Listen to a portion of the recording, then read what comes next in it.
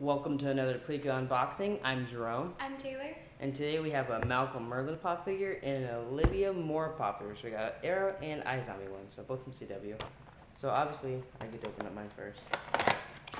Obviously. Obviously.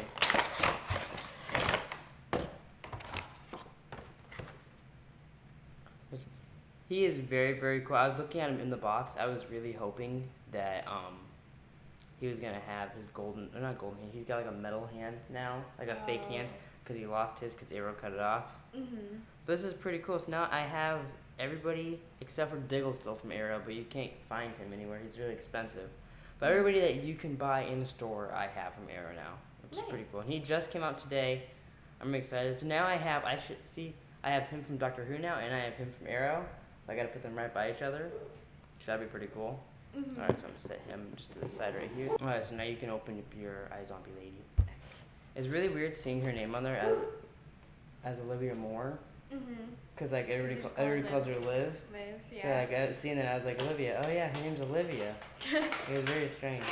That's very cool. I, I definitely want more eyes on the pop figures. I really like how cool like she looks from the box.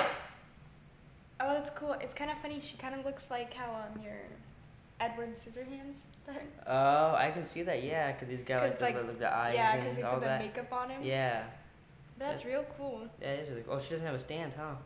Oh, yeah, she does. I threw Oh, it. Damn it! I thought I thought we'd get lucky and she doesn't have one. Although it doesn't look She like doesn't she doesn't need one. need one though. That's good. But yeah, we hate when they have stands. That's the most annoying thing about pop figures is when they have stands. she's got a, like a leather and when they're bobbleheads. Combat boots.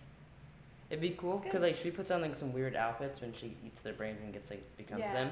It'd be cool if they made pop figures of her as the other people. That's the only thing too is like she just She wears normal people outfits. Yeah. So it's more about like the hair and the pale skin, which they did good with. yeah, it looks pretty cool with her as that. But yeah, thanks for watching this Pleek unboxing. All these pop figures come out today. See you next time. All right, welcome to Drunk Grid 2. Today we're playing some Grid 2, but every time someone crashes, we have to drink. Mm-hmm. Every time somebody passes us in a race, we have to drink.